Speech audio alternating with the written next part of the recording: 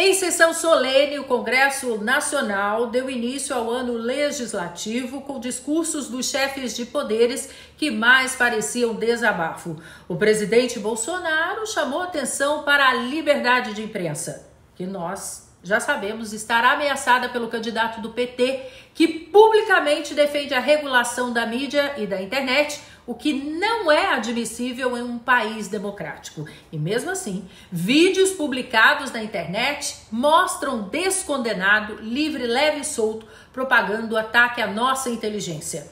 Não sabemos o que é pior, hein? A fala dele ou os ouvidos tapados dos parlamentares. Depois de hoje, os presidentes de poderes não terão mais desculpas, aspas para Bolsonaro.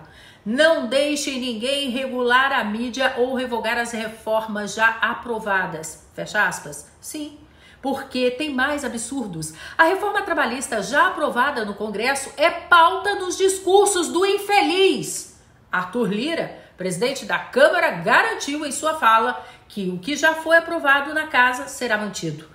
Ufa! Já o presidente do Senado, Rodrigo Pacheco, falou muito. O discurso dele foi o mais longo e não disse nada.